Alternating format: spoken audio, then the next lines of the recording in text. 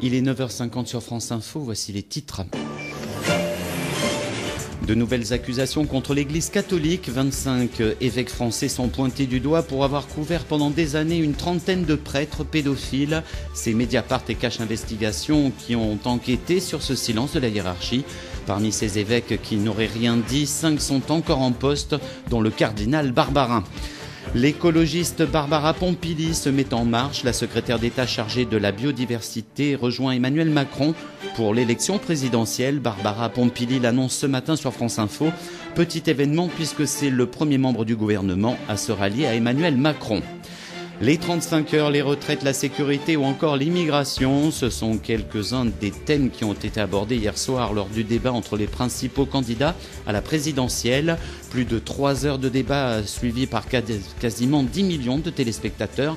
Forte audience donc, les candidats ont déroulé leur programme en laissant les affaires au second plan. Et puis le ministre de l'Intérieur, Bruno Leroux, va devoir s'expliquer. Il doit rencontrer Bernard Cazeneuve. Bruno Leroux, qui est à son tour concerné par une affaire d'assistant parlementaire. Il a fait travailler ses filles lycéennes ou étudiantes quand il était député. Des CDD à l'Assemblée nationale, des CDD qui s'ajoutaient parfois à des stages en entreprise. France Info.